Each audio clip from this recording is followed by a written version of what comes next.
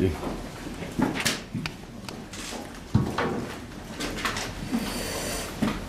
안녕하십니까. 지금 자료를 막 드렸을 겁니다만, 어, 예, 발표문을 작성한 것에 어, 바탕해서 우선 전체적인 내용을 말씀을 드리겠습니다.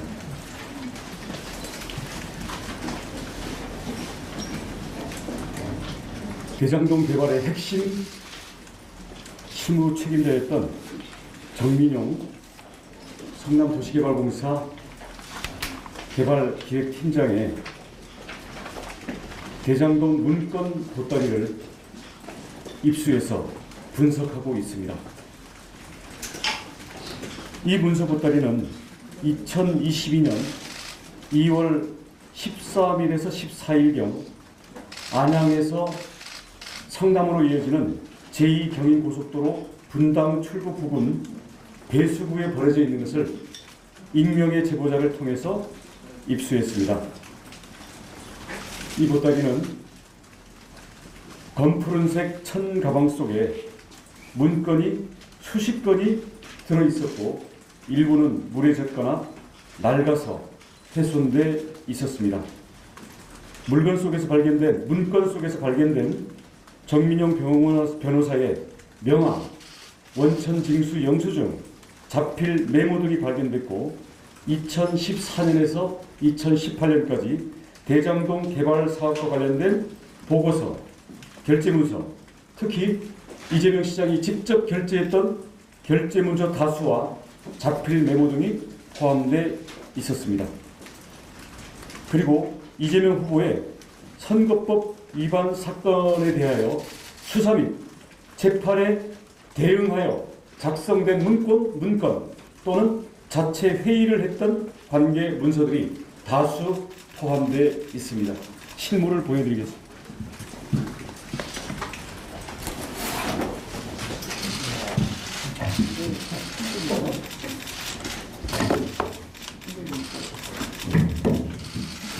자, 이 실물이 고속도로 옆 배수구에 어, 버려져 있는 것을 익명의 제보자를 통해서 저희 입수를 했고요.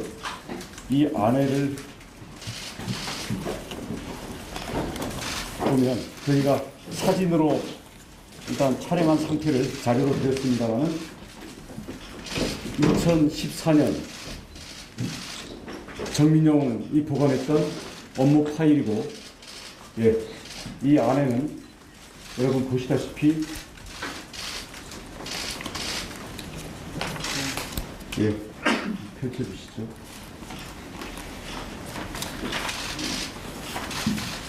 뭐 이런 업무 관련 서류들이 이다 꺼내놓고.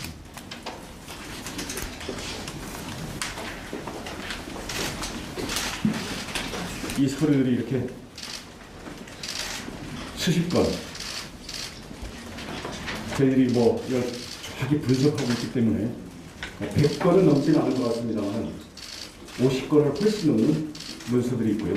여기에 정민용 팀장의 당시 명함도 여기가 띄워져 있고 개인 신상과 관련된 그런 자료들이 이 안에 다수 들어있고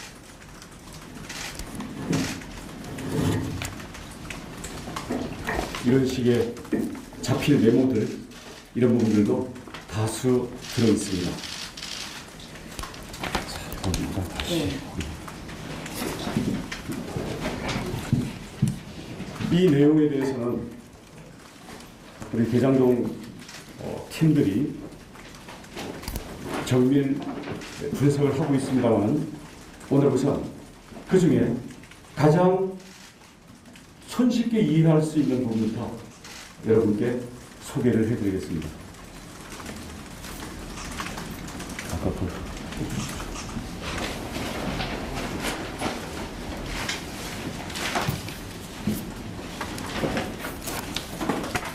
그자 여러분께 그 사진으로 캡처를 해서 드렸습니다만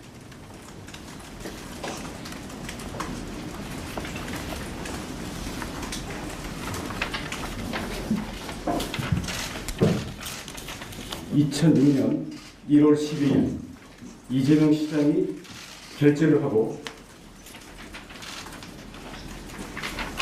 묘야 부전지와 본 보고서 사이에 간의를 한 시장 결재인을 붙여서 간의를 한 바로 이 보고서입니다. 이 보고서 내용은 여러분께 캡처를 해서 인사 드렸습니다만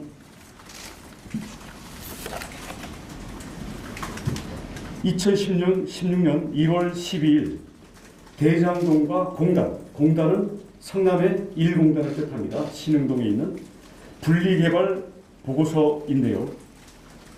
이것은 정민용 팀장이 이재명 시장에게 독대, 대면 결재를 받았다는 것이 이 화천대유 일당들의 녹취록에 나와 있습니다. 재판 과정에서 성남시청 직원들은 비서실로 들어왔다. 구체적인 결제 경위는 모르겠다. 이런 식으로 이재명 시장과 정민욱 팀장의 직접 대면 사실, 독재 사실, 독대 사실, 그리고 결제 사실을 흐리고 있습니다만은 이 부분은 당사자들의 대질과 화천대유 관계자들의 녹취를 통해서 정민용이 결정적인 공을 세운 것으로 인정이 되면서 이 결과로서 2020년 10월 30일 노래방 녹취록 최근에 언론에 공개된 녹취록에 보면 김만배 말로 민용이도 100억이다 라는 대화가 바로 이 결제 문서를 이재명 시장에게 독대해서 결제를 받아왔기 때문에 그 공로에 대한 대가가 100억이라는 뜻입니다. 이날 김만배는 정민용에게 100억, 유동규에게 700억 이렇게 배분한다라는 대화 내용이 이 2020년 10월 30일 노래방 녹취록의 가장 중요한 내용입니다. 다음에 이 녹취록을 검찰에 제출했던 정영학도 1공단을 떼어내서 결합개발이라는 말을 없애버리고 직접 2016년 1월 12일 이재명을 독대해서 결재를 받아냄으로써 큰 역할을 했다라고 정영학이 검찰에 진술을 했습니다. 국민 여러분, 이 결합개발과 분리개발이 무엇인가 어렵게 느끼실 수 있는데요. 가장 쉽게 설명을 드리겠습니다. 일공단과 대장동을 결합개발해서 10km 떨어져 있는 이거를 함께 묶어서 공원과 용적, 용적률을 계산하게 됐습니다. 하지만 이 2016년 1월 12일자 분리개발 문서의 결제를 통해서 공단은 공단대로 대장동 아파트는 아파트대로 돼서 사업 명칭 자체도 결합개발 사업이 아니라 대장동 아파트 사업으로 분리돼서 독립되게 됩니다. 그러면서도 용적률은 대장동 아파트에 그대로 다 몰아주게 됩니다. 원래는 공단과 아파트를 묶어서 녹지와 용적률을 계산했기 때문에 이 사업을 모두 취소시키고 새로 단위 계획, 그 단지 계획과 용적률을 세워야 되는데도 불구하고 이재명 시장은 편법을 넘어서 불법적인 결제를 하게 됩니다. 그 결과 대장동 하천대유 일당에게는 용적률로 인해서 약 2,700가구의 특혜가 주어진 셈입니다. 이 2,700가구의 용적률을 포함해서 대장동 아파트는 전체가 6,000세대, 조금 모자란 5,900몇 세대입니다만 이 2,700가구의 용적률이 대장동에 주어지면서 6,000세대의 규모의 대장동이 되고 이게 4조 원대의 분양 매출이 되는 규모가 되는 것입니다. 이 분양, 이 대장동 아파트는 평균적으로 한 가구당 5억 정도의 분양이 됐습니다. 토지 조성원가, 건축원가를 빼더라도 2억 내지 3억 정도의 분양 수익이 나왔다고 친다면 이 2,700가구의 용적률을 성남 공단에서 떼어내서 대장동에다가 다 몰아줌으로써 3억의 차익을 줬을 때는 8,100억. 그리고 매출로는 5억짜리 아파트 2,700세대가 대장동의 용적률로 추가로 져졌기 때문에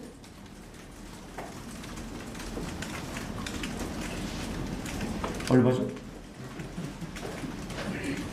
1조 3,500억 의 매출이 이루어지게 되는 것입니다. 그렇기 때문에 화천대유는 이 결제로 인해서 돈벼락이 올라가게 된 것이고요. 그래서 유동규에게 700억 또 천화동인 1호에 그 700억을 포함한 1,500억 이익을 몰아줄 수 있었고 그 분양 수익은 지금도 계속 불어나고 있는 중에 있는 것입니다. 그렇기 때문에 이 정민용 팀장이 이재명 시장에게 직접 결제를 받았던 아까 이건 그 문서의 원본입니다. 옆에 물에 젖어서 다 너덜너덜 돼 있는 이거를 말씀드린 거고요. 자, 그 다음 정민용이 그래서 왜 정민용이 이 문서를 감추고 있다가 달리는 차 안에서 추정입니다만은 고속도로로 버리고 다급하게 가야 되는지에 대해서 바로 이런 내용이 있는 것입니다. 다음 두 번째 이 여기서 나온 문서 바로 붙어 있었습니다. 아까 문서가 붙어 있을 겁니다만 이 문서는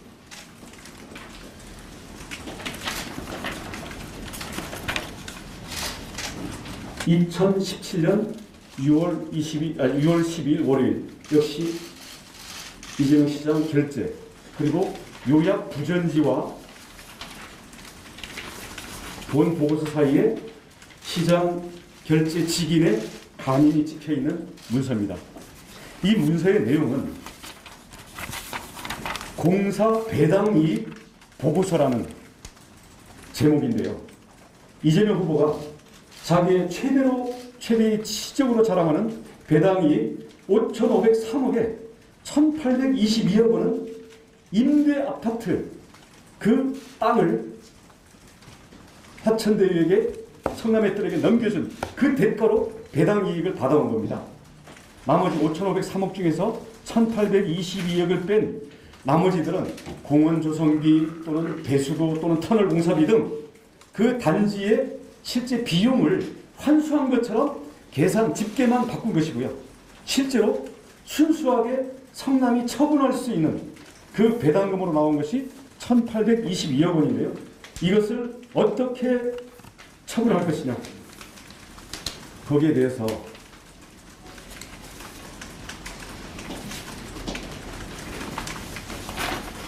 자 사업 개요가 이렇고 네, 그래서 어떻게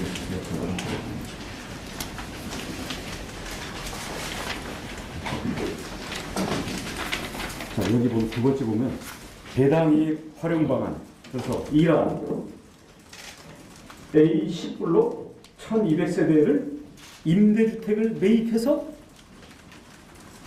당시에 이주해야 되는 세입자들 및 성남의 무주택자들에게 임대주택으로 주는 방안. 대안 2는 A 9불로 221세대를 매입하고 임대주택을 성남시에서 직접 건립하는 방법. 제3화는 임대주택을 포기하고 그 돈을 성남시장이 임의 처분하는 방법. 이런 이한 3원을 결제를 올리는데 이런 이안을 하려니 그 공사를 할 돈이 없다. 라는 정답을 미리 써놓습니다. 그렇게 해서 제3원을 쓰게 되면 성남 시장의 적인 판단에 의해서 정책적 목적으로 쓸 수 있다. 라는 내용을 했고 여기에 대해서 이재명 시장이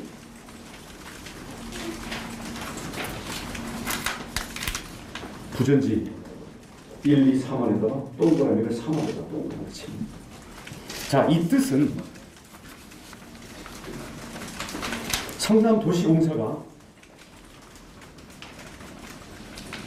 토지 수용을 통해서 공공이 권한을 준 것은 임대 아파트와 성남공단의 공원 개발을 목적으로 한 것이었는데 공원 개발은 분리 결제로 인해서 떨어져 나갔고요.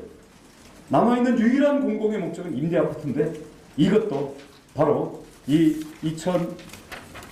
2017년 6월 12일자 이재명 시장의 직접 결재 문서에 의해서 임대 아파트도 날려버리는 겁니다.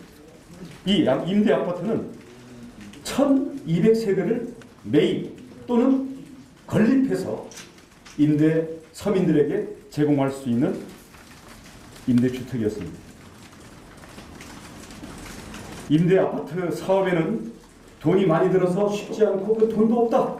이런 내용과 함께 사만으로 유도하는 내용의 보고서를 올린 다음에 사만에다 이재명 시장이 동그라미를 하고 결국 이재명 당시 성남시장은 임대 아파트 사업을 포기, 킬시키고 시장 마음대로 쓸 수 있는 현금을 1,822억 원을 받고 2018년 선거를 앞두고 시민 배당으로 뿌리려는 시도를 하게 됩니다.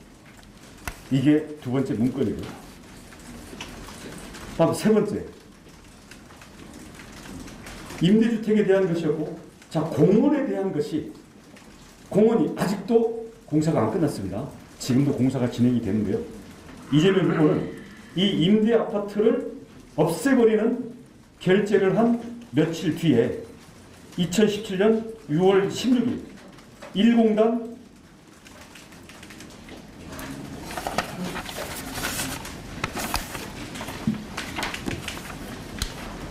일공단 공원 사업에 대한 고시를 합니다. 성남 도시계획 시설 제1공단 근린공원 사업 실시계획 인가 고시. 자, 이것은 성남시장이 직접 고시를 한 문서입니다. 요 자체는 보따리에서 나온 문서는 아닙니다. 요거와 관련된 부속 문서들이 보따리 안에 있고 이것은 공개된 문건이기 때문에 이해를 돕기 위해서 어, 저희를 제시를 하는 건데요. 이재명 후보는 이 2017년 6월 16일 1공단 공원 사업비 내용이 들어간 실시 계획 인가를 고시하면서 여기에 형광펜으로 친 것처럼 사업 비용은 2,340억이라고 명시를 했습니다. 그런데 이 공원 사업비가 2,340억이면 5,503억을 회수했다라는 그 금액하고 맞지가 않게 됩니다. 다른 터널 공사비 또이 임대아파트로 배당받은 아까 1,822억 원 이런 걸 내고다 보면 이게 부족하게 되는데요. 그래서 그 부족한 금액을 넣은 2,762억 원을 2,761억 원을 환수했다라는 주장을 이재명 시장이 2017년 3월 달에도 하고 2017년 8월 달에도 하고 그 이후에 2018년 선거 과정과 공보문회까지 이 내용들을 계속 주장을 하게 됩니다. 본인이 공문서로 고시를 했던 그 고시문에 들어있는 금액을 자기가 고시를 해놓고도 그와 400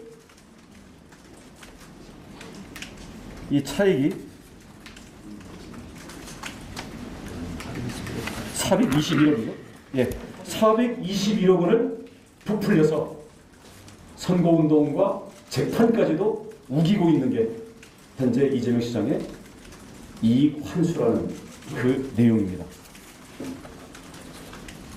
그래서 이 후보는 엄연히 고시까지 해놓고도 경기도지사 2018년 선거 때 1공단 공원 사업으로 2,761억 원을 환수했다고 홍보를 하고 2018년 5월 선거 공보문에는 결제 한 번으로 5,503억 원을 환수했다. 5,503억 원이 금액이 맞으려면 이게 2,761억 원이라 해야 됩니다. 421억 원이 빕니다. 거리 유세에서도 한 푼도 안 들이고 5,503억 원을 벌어서 신나게 썼습니다. 이렇게 일자라는 시장입니다. 라고 유세를 했고요. 지금도 5,503억 원을 회수했다고 전혀 근거도 없는 자기만 알고 있는 숫자를 주장하고 있는 게 현재 이재명 시장의 주장입니다. 일단 오늘 이 세 가지 문건에 대해서 말씀을 드렸고요. 결론을 말씀드리겠습니다. 압수수색 당일 유동규가 창 밖으로 핸드폰을 던졌죠. 경찰이 못 찾았습니다. 정민용 팀장이 고속도로 달리는 차 안에서 배수구로 던져놓은 대장동 문건 보따리 이 안에 이재명 시장이 직접 결제했던 핵심 문서들이 들어있는 이 보따리를 찾지도 못하고 찾으려고 하지도 않았던 이 검찰 전면 재수사 시작해야 합니다. 그리고도 대놓고 증거 인멸한 정민영은 아직도 불구속 수사를 받고 있습니다. 무엇을 감추고 무슨 진술을 검찰에 흐려서 협조해서 흐리고 있기 때문입니다.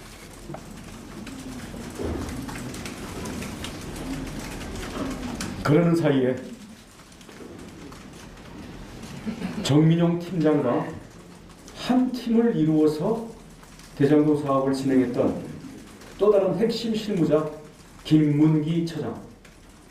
이분들은 사업자 정성평가, 정량평가, 평가위원으로 들어갔는데 정민용 팀장은 퇴직한 다음에 성남도시개발공사에 휴일날 심야에 들어가서 당시의 채점표를 머릿속에 기억하고 컨닝 페이퍼를 갖고 와가지고 검찰 조사할 때 당시의 심사 결과표를 이 자료를 갖고 써봐라 하니까 당시 했던 그대로 재현을 해냈고 김문기 처장은 벌써 2015년 7년 전 일이기 때문에 이것을 기억해내지 못하고 당시 채점표와 전혀 다른 채점 결과를 검찰에 제출함으로써 가장 궁지에 몰렸고 또 이와 연결돼서 이재명 시장과의 대면 결제 부분에 대한 정민용 팀장과의 연관 관계에 대한 조사의 압박을 앞두고 극단적인 선택을 하게 됐던 거죠.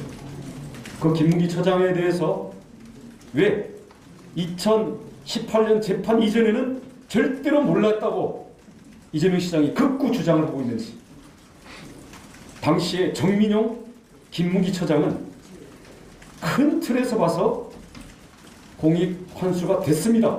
라고 위증을 했습니다. 그래서 정민용은 그걸 근거로 자신이 사우나로 빠져나갔던 것 근무 중에 자리를 비웠던 것에 대해서 징계가 들어오니까 내가 이재명 시장을 무죄 판결을 받아냈던 공로가 있는데 나를 징계하면 안 된다 라고 구제 신청서를 낸 게 이미 다 제출이 됐고 이미 다 공개가 됐습니다 김무기 처장과 그 유족들도 2015년 1월 달에 호주 9박 11일 골프 여행 30번의 식사와 여러 차례의 골프 라운딩에서 시장과 함께 해서 즐거웠다는 내용을 가족들에게 메시지로 보내는 게 이번에 유족들이 공개하지 않았습니까? 바로 그런 정민영과 김문기 이재명 시장과의 직접적인 연결 관계 이게 지금 말씀드린 이 보따리 속에서 연결되고 있는 겁니다. 오늘은 일단 여기까지 말씀드리고요. 이 보따리 속에는 다른 자료들도 많이 들어 있습니다. 특히 2015년 3월 27일 사업자 선정에서부터 2015년 7월 22일 맞죠? 6월 20일. 6월 22일 주주 협약서 체결 때까지 쉽게 말하면 물주가 결정되지 않은 상태에서 모든 공동 투자와 배분과 주주 협약서가 진행되고 있습니다. 이때에 이재명 시장과 사실상 뒷배이자 한 몸이면서 가장 유력한 물주인 모 씨는 당시에 구속돼 있었습니다. 그렇기 때문에 구체적인 특정과 그에 따른 법적인 처리를 못하고 진행을 하다가 그 모 씨가 온갖 사법부에 대한 사법부에 대한 로비와 당시의 화천대유 일당들의 거금을 투자하는 그런 로비에 의해 가지고 보석으로 나온 다음에 주주 협약이 다시 일사천리로 진행이 되는 그런 자료들도 이 안에 들어 있습니다. 그래서 이 부분들은 저희가 이 안에 있는 서류뿐만 아니라 바깥에 있는 녹취록들, 이미 재판에서 진술된 것들, 또는 이와 달리 있는 다른 여러 화천대유와 천화동인에 있는 다른 관계자들에 대한 저희들이 확인과 크로스체크를 거쳐서 좀 더 강력한 상태에서 빠른 시간 내에 국민들께 공개하도록 하겠습니다. 오늘은 여기까지 하겠습니다. 오늘 간단하게 질문을 좀 부탁드리겠습니다. 먼저 이거 문서가 입수하신 다음에 어떤 식으로 이제 진행하기는 하셨고 그리고 이 문서들이 지금까지 뭐 공개되지 않았다거나 이런 이렇게 어떤 의미를 갖고 있는지 간단히 설명 좀 부탁드리겠습니다. 설명을 하시죠. 예. 그래.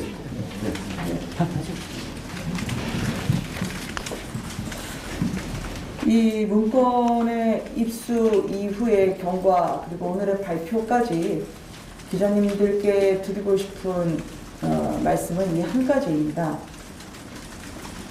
대장동의 몸통을 검찰이 제대로 수사를 했다면 이 중요한 기밀 문건이 고속도로 배수로에 버려지지 않았겠죠. 당초에 이재명 후보는 정민영 팀장의 독대 여부에 관련해서 처음에는 어, 부인을 하다가 그 뒤에 아, 알고 보니 내가 실무진들과 함께 성남시청에서 몇 번 회의를 한 것 같다 라고 말을 수정을 했습니다. 결국 그 말에 있는 이 대장동의 공모지침서에서부터 주주협약서 체결까지 전 과정에 깊숙이 개입해왔던 또 이재명 후보가 국감 중에 상당히 능력이 있는 것으로 평가했던 정민용 팀장의 역할이 이 버려진 검은색 가방 안에 다 들어가 있는 것으로 파악됩니다. 따라서 대장동의 비밀을 갖고 있는 이 문건은 저희가 앞으로 차곡차곡 더 조사를 해서 기자님들께 알려드릴 계획이고요. 그리고 그렇게 당군 일의 최대 치적이라고 하는 대장동의 그 문건들이 왜 성남시청이나 검찰의 손에 들어가지 못한 채 고속도로 배수로 안에 들어가 있었는지 그리고 정영학, 남욱 그리고 정민영 팀장까지 유동규 김만배와 어떻게 연결이 돼서 이재명 시장에게 보고 과정을 거쳤는지 여러분들께 그 몸통의 비리를 하나하나 차곡차곡 설명해 드리도록 하겠습니다. 질문들. 예. 이재명 지사가 결재를 한 문건은 그게 다인가요? 아니면 추가적으로 더 있는 건가요? 더 있습니다. 그 내용을 지금 이 자리에서 말씀을 해주실 수 있는 건가요? 아니요. 오늘 아, 저희는 이제 분석 중이고요. 저희들은 문건 자체를 저희가 공개하는 것은 바람직하지 않다고 생각하고 이건 나중에 어차피 다 검찰 들어가야 될 자료들이고요. 저희들은 명확한 그 사안과 연결된 부분들을 필요한 한에서 저희가 공개를 하겠습니다. 그리고 이재명 후보의 동태를 보면서 공개하겠습니다. 시장님 그 이재명 지사 이제 공고문이나 이런 데서 어떤 후보 위반 소지가 있다는 말씀도 하셨는데 이 부분에 대해서 이제 법적인 조치도 계획을 하고 계세요. 예, 모든 조치들을 다 저희들이 검토를 할 거고요. 대신 엄격하게 저희들은 정확하게 팩트와 법적인 판단 그리고 도저히 빠져나가거나 반박할 수 없는 그런 정도로까지 저희들이 분석하고 정리를 하면서 한 발 한 발 진행을 하겠습니다. 총 분량이 어느 정도 될까요? 서류 분량, 확보 분량이 어느 정도 되는지 궁금하고 페이지 수 같은 거 아. 이재명 후보의 친필 같은 게 좀 들어가 있는지 아무튼 뭐 이렇습니다. 예, 예, 저희들 분석 중이니까요. 네, 네, 그러면 지금 들어보시는 게 전체 분량이에요? 빠진 거 없이. 예, 이렇습니다. 뭐 아까 우리 공개하기 위해서 제가 그 원본 아까 두세 개 뺀 거 외에는 외에는 다 그대로 있습니다.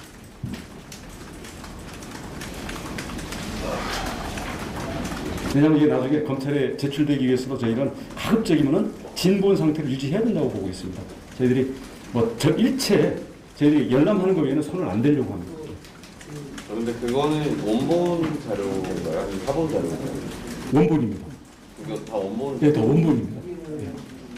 그게 약간 성남도시개발공사 압수수색할 때 다 그 파악이 됐을 것 같은데. 성남 도시개발공사 압수수색을 워낙 늦게 했기 때문에 압수가 안 됐던 것 같고요. 정민용 팀장이 11월 달에 사직을 했었습니다. 사직하면서 들고 나갔다가 그때 버렸거나 아니면 압수수색이 자기의 자동차와 자택에 올 수 있다라는 그런 상황에서 다급하게 버렸다고 판단됩니다. 그러면 그게 성, 그 도시공사 안에 서류가 아니라 장민영 개인적으로 갖고 있는 서류라고 도시개발공사에서 자기가 사직하면서 갖고 나온 거죠. 아, 도시공사의 서류인데 본인이 그냥 몰래 빼돌렸다.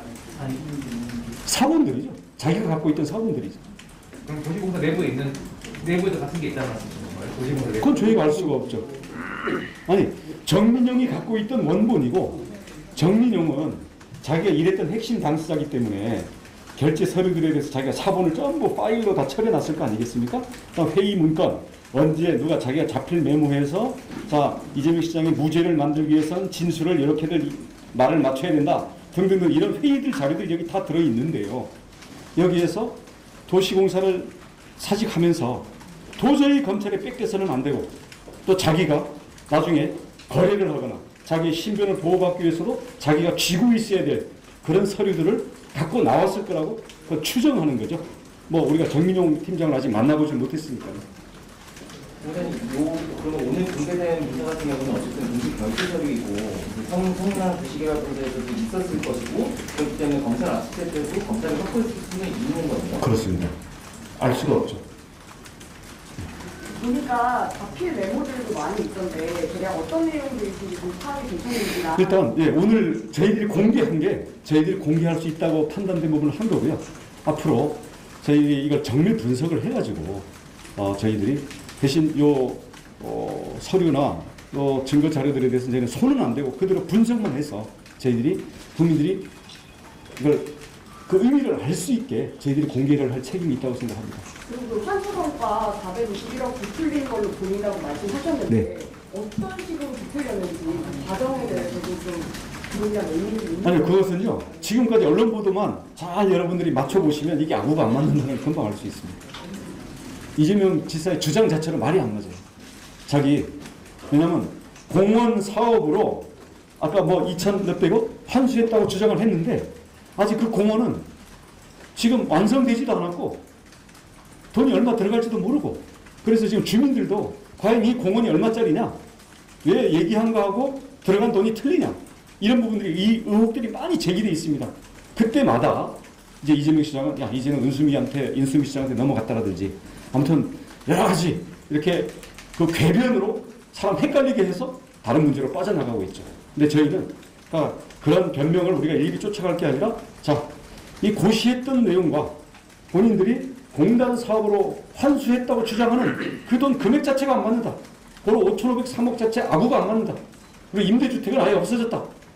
그리고 여기에 대장동에다가 공단으로부터 분리하면서 용적률을 몰아준 게 2,700세대에 해당하는 그 아파트 분양 매출과 그로 인한 아파트 분양 차익이 화천대유 일당에게 들어갔고 그게 지금도 계속되고 있다. 왜냐하면 빌라 같은 경우는 아직도 분양하고 있기 때문에.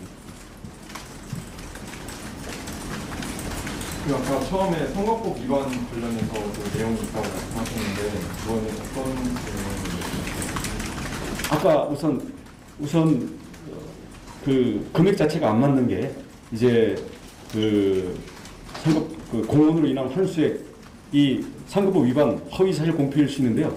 지난번에 법원 가서는 교묘하게 빠져나갔습니다. 왜냐하면 그 시장이 어떻게 숫자를 일일이 다 알겠냐. 그러니까 재판부에서 아 그럴 수도 있겠다 이렇게 해서 넘어갔습니다. 근데 고시 예 성남시장이 사인을 내서 금액을 이거 우리가 만든 금액 아니에요. 본인이 주장한 금액 이것만이 효과가 있는 금액이고 나머지 금액은 전부 이재명 시장 자기 입으로 떠든 것밖에 없는데 그 금액이 421억 이 차이가 난다. 우리 요새 화천대유 때문에 몇 조, 몇 천억 이러다 보니까 감각이 둔해져 있는데 421억 작은 돈 아닙니다. 그죠? 그래서 421억이라는 차액이 문제가 되는 거고요. 다음 더 큰 위증은 과연 이 개발 사업으로 인해서 공공의 이익이 환수가 된 것이냐? 여기에 대해서 아까도 말씀드렸지만 이 정민영 팀장하고 김문기 고 김문기 처장이 재판에 증인으로 가서 큰 틀에서는 환수된 게 맞습니다. 라고 증언을 했는데요. 여러분 보시면 아시겠지만 자 환수를 했다라는 게 5,503억 그것도 지금 421억이 부풀어져 있을 뿐만 아니라 아까 어 1,822억 임대 아파트 부분을 가지고 현금으로 배당하고 성남시가 마음대로 써버린 이 돈 외에는 전부 아파트를 개발하게 되면 어차피 들어가야 되는 기부 체납 내지는 건설 비용들이에요. 그리고 이 오늘 이 문서에 보면 이런 것들이 비용이라는 그 문서들이 다수 들어 있습니다. 그게 환수된 게 아니라 그것은 이 대장동 개발 사업을 하는데 들어가는 비용이다. 이익으로 환수된 게 아니라 이런 것들을 재판에서 어떻게 말을 맞출 것인가 이런 문건도 다수 들어 있습니다. 그렇기 때문에 그 재판 과정에서 김문기 정민호 팀장을 비롯한 이재명 시장의 이 화천대유에 대한 대장동 수익의 문제에 대한 재판 또는 검찰에서의 수사와 증인신문에서 어떻게 말을 맞춰서 위증을 할 것인가에 대한 자료들도 이 안에 들어있기 때문에 이 부분들은 다시 전면 재조사 돼야 될 것입니다. 마지막으로 그러면 그 거기 안에 있는 자료가 성남도시공사 자료뿐만 아니라 정민영 개인의 자료 그러니까 재판에서 말 맞추기 위한 뭐 김만배와의 무슨 뭐 담합이라든지 그런 내용도 들어있다는 말씀이신 건가요? 들어있습니다. 들어있고 대장동 외에 다른 지구들에 대한 사업과 그에 따른 핵심 자료들도 들어있습니다. 이렇게 질문 없으시면 자 여기까지 하실까요? 감사합니다. 네. 아유 말 하십시오. 예. 정민용 팀장에게 이거 관련해서 좀 묻거나 확인을 하는 절차가 필요할 것 같은데 네. 이뭐 시도하셨는지 아니면 어떤 방식으로 하실 예정이신지 아니 정민용 팀장은 지금이라도 저한테 연락하시기 바랍니다. 아직 저희들이 통화하거나 접촉을 못했습니다. 네, 혼자 불구속돼 있습니다. 네, 증거인멸을 이렇게 했고 100억을 받기로 한 녹취록이 이미 작년 10월 달에 이미 검찰에 다 입수돼 있고 검찰에서 다 보고 있음에도 불구하고 아직까지 왜 전민영만 불구속일까? 그러니까 그 부분도 의문이고요. 저는 전민용 팀장의 신변 보호를 위해서도 어, 빨리 검찰에서 신병을 확보해야 된다고 봅니다. 네, 오늘 여기까지 하시죠. 또 뵙겠습니다. 네.